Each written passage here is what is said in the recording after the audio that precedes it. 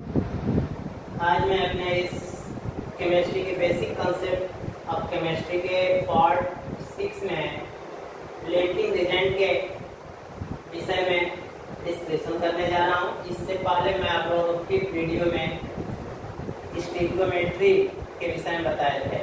उसी से रिलेटेड है बट इसे जानना ज़रूरी क्योंकि हमारे सिलेबस में दिया हुआ है लिमिटिंग एजेंट है क्या? जैसा इसका नाम है, जैसे लिमिटिंग लिमिट एजेंट में जानते ही है अविकर्मक या अविकारक, जो सब्सटेंस किसी भी केमिकल रिएक्शन में टेक प्लेस होता है, उसी को हम लोग क्या कहते हैं? रिजेंट कहते हैं लैबोरेटरीज के अंदर देखे हैं, बहुत से डिफरेंट टाइप रिजेंट्स हैं। बट इससे पहले कैटेगरी लगा दिया गया लिमिटिंग रिजेंट है ना? तो लिमिटिंग का मतलब ही होता है कम। अर्थात ये कह सकते हैं कि जैसे किसी भी रिएक्शन में, यदि हम रिएक्शन करा रहे हैं सपोज़ दैट मान लीजिए कि ए है और बी है। अगर दोनों में रिएक्शन कराए तो बना हमारा क्या प्रोडक्ट सी जैसे मैं इस फिगर के माध्यम से आपको समझाना चाह रहा हूँ, जैसे suppose that we take a beaker जैसे मैं बीकर ले लिए इसमें टू टाइप सब्सटेंस ले लिए, एक ए है और दूसरा बी है।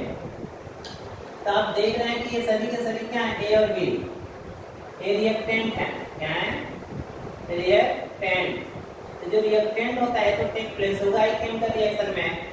लेकिन इसमें भी आप देख रहे हैं कि एक के अमाउंट ज़्यादा एक के अमाउंट कम है। जैसे इसमें आप देख रहे होंगे ए, ए क्या है? मोर है देन बी बी इसमें काउंट करिए। One two three four five है ना? One two three four five five molecule क्या है? या आइटम बी के हैं सिर्फ़ ए के हैं। तो कहने का मतलब जो ए की क्वांटिटी है वो क्या है? ज़्यादा है इसलिए ए की क्वांटिटी को हम क्या कहेंगे? लिमिटिंग रिजेंट क्यों लिमिटिंग रिजेंट कहेंगे नहीं ए को क्या कहेंगे? एक्सेस रिजेंट कहेंगे जैसे क्योंकि जब ये रिएक्शन टेक प्लेस होगा स्टार्ट होगा, जैसे देखिए इसमें रिएक्शन होना शुरू होगा, है ना? रिएक्टेंट है दोनों रिएक्शन करके क्या बनाएँगे? सी तो सी तो बना रहे हैं बट इसमें अगर इसकी मात्रा कितना है, देखिए one two three four five six जो भी है एक्स वाई जेड तो जो हमारा ए है बी से रिएक्शन करके क्या बनाएगा? सी अब प्लस इसके अलावा भी फाइव भी इसमें है, कितने भी हैं? फाइव तो फाइव की तो रिएक्ट हो गए रिएक्शन कर गए इससे ए से। तो फाइव सी बन गया, हमारा न्यू प्रोडक्ट बनेगा ही लेकिन जो शेष नंबर ऑफ़ ए मालिक्यूल है ये रिमेनिंग रह जाएँगे, अर्थात इसके अंदर ही रह जाते हैं। जब इसके अंदर बच गए और हमारा जो रिएक्शन है स्टॉप हो जाएगा। क्यों स्टॉप होगा? क्योंकि उसके पास अब बी रिजेंट है ही नहीं जो कि उससे रिएक्शन करे इस रिएक्शन को कंटिन्यू बनाए रखें। तो इस तरह से अब स्टॉप हो जाएगा हमारा रिएक्शन भी। तो इस तरह से आप देख रहे हैं कि जो इसमें जो रिमेनिंग क्वांटिटी ए की है, इसे हम एक्सेस कहेंगे, अर्थात इसको एक्सेस रिजेंट भी कर सकते हैं। क्या कहेंगे? एक्सेस रिजेंट ठीक है, इसमें प्रोडक्ट हमारा सी बन गया। और जो हमारा सबसे लेस अमाउंट में था बी यूज़ अप हो गया पूरे रिएक्शन में इसमें देखिए कहीं बी नहीं बचा है तो बी नहीं बचा है तो बी क्या है हमारा B was all used up in this reaction so b is limiting reagent इसको क्या कहेंगे limiting reagent कहेंगे क्यों limiting reagent कहेंगे because it is completely used up in this reaction तो सो लिमिटिंग रिजेंट का डिफिनेशन निकल के आता है देख लीजिए इसे और भी नाम से जानते हैं जैसे मैं इसमें नोट कर हूँ कि लिमिटिंग एजेंट को लिमिटिंग रिएक्टेंट भी कर सकते हैं लिमिटिंग एजेंट भी कर सकते हैं, ठीक है? तो इसका डिफिनेशन लिख दिया हूँ कि limiting agent reagent in a chemical reaction is substance एक प्रकार का सब्सटेंस है दैट इज़ टोटली कंज्यूम पूर्ण रूप से क्या होता है? कंज्यूम हो जाता है, समाप्त हो जाता है केमिकल रिएक्शन इज़ कंप्लीटेड जैसे ही ये समाप्त होगा, ये देखिए। हमारा केमिकल रिएक्शन कंप्लीटेड हो जाएगा स्टॉप हो जाएगा। लेकिन स्टॉप तो हो रहा है, उसके बाद भी अगर हम देख रहे हैं तो इसमें हमारा A atoms A molecules excess मात्रा में बचे हुए हैं, है ना? तो अब इसे अगर और फॉरवर्ड करना होगा, तब में बी मतलब लिमिटिंग एजेंट जो बी है, इसकी मात्रा और इसमें डालेंगे, जैसे डालेंगे रिएक्शन स्टार्ट हो जाएगा। तो ये कह सकते हैं कि इससे हमारा जो रिएक्शन क्या करता है? रिएक्शन को स्टॉप कर देगा। मतलब जितनी इसकी मात्रा विचलित हो जाएगी फिर रिएक्शन हमारा क्या होगा? स्टॉप हो जाएगा। तो इस तरह से हम लिमिटिंग रिजेंट को डिफाइन कर सकते हैं। ठीक है? तो लिमिटिंग रिजेंट क्या है? अमाउंट ऑफ़ प्रोडक्ट फॉरवर्ड होता है तब तक होगा जब तक हमारा बी लिमिटिंग एजेंट इसमें यूजअप हो रहा है। जैसे ही यूजअप हो गया, समाप्त हो गया, ये हमारा रिएक्शन स्टॉप हो जाएगा। ठीक है? अब इसी को समझाने के लिए हम लोग जैसे आते हैं एग्ज़ाम्पल के थ्रू देख रहे हैं एग्ज़ाम्पल पे कि कैसे क्या होगा, ठीक है? जैसे सबको दैट मान लीजिए हम एग्ज़ाम्पल लिख रहे हैं। एग्ज़ाम्पल में क्या लिखा है? जैसे 8 ग्राम एच टू है। 8 ग्राम हम ले लिए क्या? 8 ग्राम एच टू ठीक है? और 32 ग्राम 32 ग्राम O2 ले लिए। तो जब हम इन दोनों को हम ले लिए आपस में तो ये रिएक्शन करके कितना बनाएँगे? एच टू ओ मालिक्यूल है ना? तो जैसे एच टू मालिक्यूल बनेगा ना इसमें, कितना ग्राम बनेगा? है ना? एच टू का कितना अमाउंट बनेगा? अब इसी से आप इसको डिफाइन कर सकते हैं। क्यों? क्योंकि किसी न किसी रिएक्टेंट की मात्रा इसमें पहले ही समाप्त हो जाएगी। जैसे आप जानते हैं, मैं इस फिगर से क्लियर कर दिया हूँ, जिसकी मात्रा कम होगी, वो पहले इंजेक्ट हो जाएगा, जैसे इंजेक्ट होगा, हमारा रिएक्शन क्या होगा? स्टॉप हो जाएगा। जिसकी वजह से स्टाफ पूरा उसे हम क्या कहेंगे? लिमिटिंग रिज़ल्ट कहेंगे, और जो उसमें बच जाता है, उसे हम एक्सेस रिज़ल्ट कहेंगे। है ना, वो कंप्लीटली यूज़ नहीं हुआ थ्रू द रिएक्शन ठीक है? तो अब इसके थ्रू देख लीजिए। जब इसके थ्रू आप देखेंगे तो सबसे पहले आप इसको एंट्री के थ्रू रिएक्शन शो करिए। जैसे एच टू है, आप लोग नेक्स्ट वीडियो में, जो प्रीवियस वीडियो हमारा है, उसमें देखे होंगे कि एच टू और O2 को रिएक्शन कराया गया है। जब कराएँगे तो क्या बनेगा? एच टू ओ ठीक? तो सबसे पहले इसको हम बैलेंस करेंगे। बिना बैलेंस किए सोल्यूशन नहीं होगा। ठीक है? यहाँ टू करेंगे तो यहाँ पर टू कर दिए बैलेंस हो गया। तो बैलेंस हो गया तो ग्राम में मात्रा दिया था, सबको ग्राम में देख लीजिए कि किस रेशियो में इसमें यूज़ हो रहा है हमारा रियल रिएक्टेंट इससे निकाल सकते हैं ना? तो जब निकालेंगे तो यहाँ पे आप देख रहे हैं कि हाइड्रोजन का एटॉमिक मास वन होता है, लेकिन यहाँ पे कितना है? फोर है। तो फोर ग्राम यूज़ हो रहा है। कितना हो है फोर ग्राम। यस टू और यहाँ पे देख रहे हैं कि ऑक्सीजन है। ऑक्सीजन कितना होता है? सिक्सटीन लेकिन यहाँ ओ टू है तो इसलिए कितना ग्राम यूज़ हो गई? Thirty two gram. Thirty two gram O two use हो गया। अब यहाँ पे चेक करिए। तो यहाँ पे चेक करेंगे आप। यस टू यस टू का जो मोलर मास निकालेंगे, ये टू रहेगा प्लस सिक्सटीन एटीन अर्थात टू इंटू एटीन हो गया इक्वल टू कितना? Thirty six gram. H two हमारा सिस्टम मतलब यहाँ कहने का है कि अगर four gram H two use हो रहा है, कितने से? Thirty two gram O two से। तभी बना रहा है thirty six gram H two कितना बना रहा है? Thirty six gram H two बना रहा है। लेकिन यहाँ पे आप देख रहे हैं कि आपको दिया क्या है? क्वेश्चन में 8 ग्राम एच टू दिया है 32 ग्राम ओ दिया है। पूछ रहा है, कितना हमारा बनेगा क्या? एच टू तो जब ये दिया हुआ है तो आप इसको नोट करिए, ये हाइड्रोजन कितना दिया है यहाँ पे? 8 ग्राम एच टू दिया है।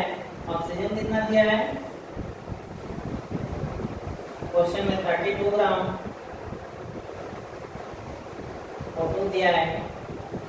ठीक है तो यहाँ से निकालना है किसको कितना हमारा यश को बनेगा।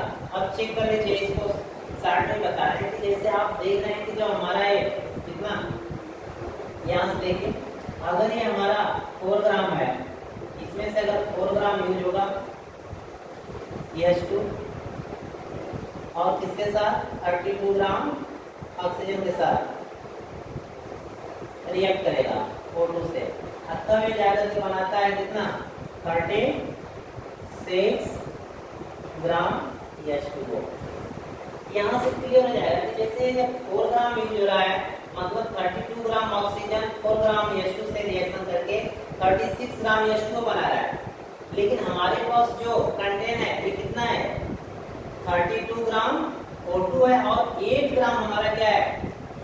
एच टू है। तो जब हमारा एट ग्राम एच टू है तो अब देख रहे हैं कि इसकी मात्रा क्या है? एक्सेस हो गई इसमें। यहाँ देखिए एट ग्राम। एट ग्राम तो यूज़ हो गया।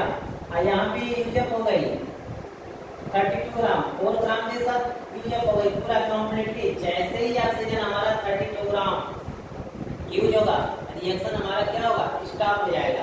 अच्छा जब स्टॉप होगा तो ये स्टॉप होगा तो इसमें जो ये हमारा हाइड्रोजन है 4 ग्राम क्या होगा? एक्सेस हो गया। 4 ग्राम H2 क्या हो गया? एक्सेस हो गया। इसलिए इसको हम कहेंगे एक्सेस एजेंट यहाँ पे यूजअप हो गई। इसलिए ऑक्सीजन को हम क्या कहेंगे O2 को ये हमारा लिफ्टिंग एजेंट हो गया। कौन सा? Limiting agent. अर्थात इस तरह से हम यहाँ कर सकते हैं कि H2 जो है, क्या है? एक्सेस प्रेजेंट हुआ और O2 लिफ्टिंग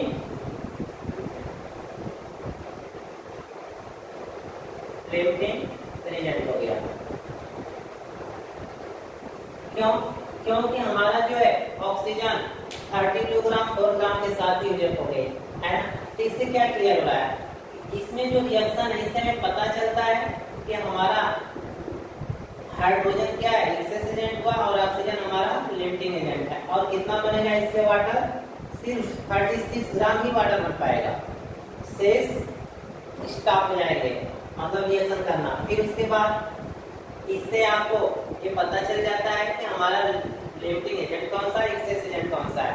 इसके अलावा अगर चाहे तो और भी एग्ज़ाम्पल दे सकते हैं। जैसे, देख लीजिए, इसे इरेज कर रहे हैं जैसे सेकेंड एग्ज़ाम्पल देखिए क्लियर हो जाएगा।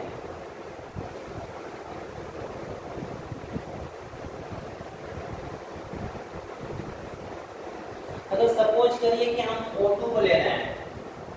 O2 को हम ले लिए 60 कितना? 4 ग्राम 64 ग्राम हम O2 ले लिए। और कार्बन ले लिए 12 ग्राम कार्बन 12 ग्राम तो ये CO2 कितना बनेगा? CO2 कितना बनेगा? हाउ मच mg तो CO2 कितना ग्राम पर फॉर्म होगा?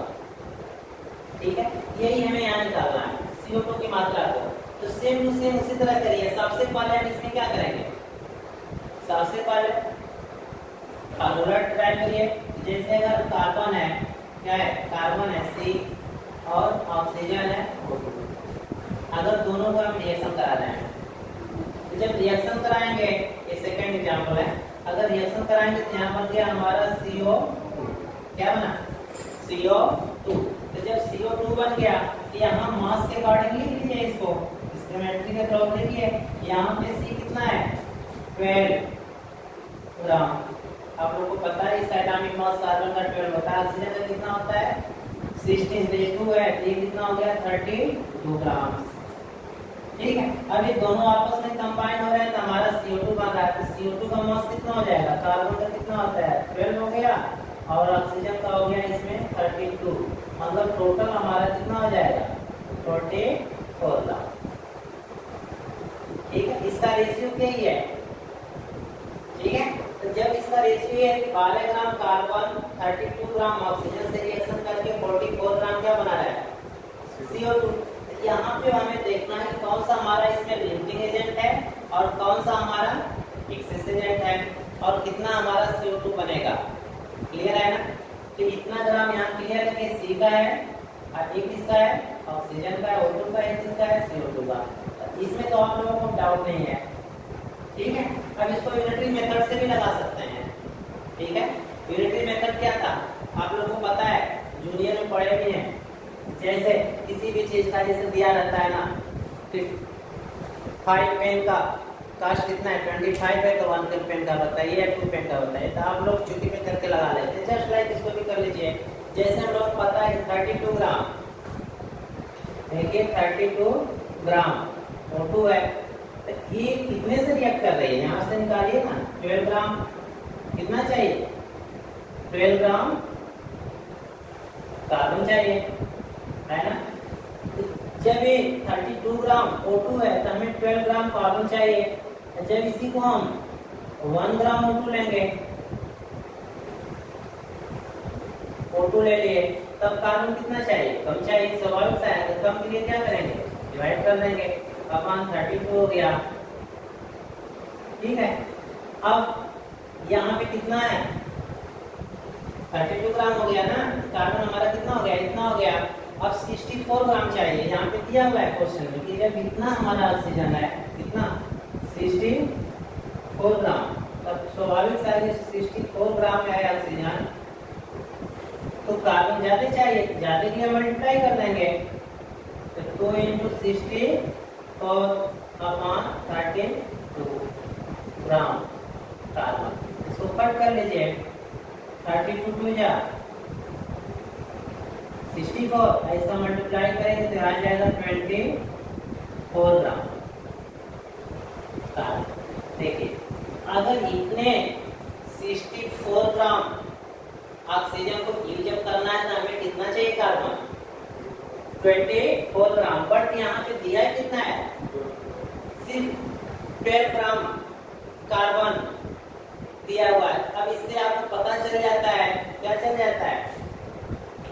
सो इसमें किसकी कमी हो गई? कार्बन क्योंकि यहाँ ट्वेल्व है यहाँ ट्वेंटी फोर चाहिए। So carbon is limiting reagent कौन हो जाएगा? लिमिटिंग रीजन इससे हम लिमिटिंग रीजन कहेंगे। ठीक है? ये तो लिमिटिंग रीजन हो गया। तो फिर एक्सेस रीजन कौन सा होगा? ये होगा। ये बच गया ना यहाँ 64 है बट जब कितना हुआ 32 ग्राम और जब 32 ग्राम यूज़ हो रहा है 32 ग्राम अभी बच है, इसलिए O2 इज़ क्या होगा? एक्सेस रिजेंट हो गया। क्लियर है? तो इस तरह से किसी भी रिएक्शन में हम इसको चेक कर लेंगे, क्यों एक्सेस रिजेंट है क्योंकि आप देख ही रहे हैं। अगर इसको चाहे तो 64 में से 32 को क्या करें? सब्सट्रैक्ट कर देंगे तो कितना आएगा? 32 मतलब इतना ग्राम में क्या रिएक्शन बच रही है ठीक है? तो इस तरह बेटा, ये हमारा, आप लोगों को ये मोस्ट इम्पोर्टेंट भी है, पूछता भी है इससे क्वेश्चन एग्ज़ाम में, ठीक है? इसलिए इसे जानना ज़रूरी था लिमिटिंग एजेंट क्या होता है?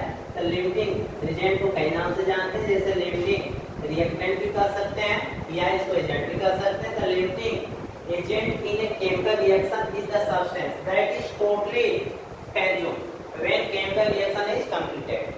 समझ आएगा जैसे ही ये यूजअप होगा केमिकल रिएक्शन हमारा क्या होगा? स्टॉप हो जाएगा। क्यों? क्योंकि उसकी मात्रा तक नहीं गई कोई रिएक्शन करे अदर मालिक्यूल से। ठीक है?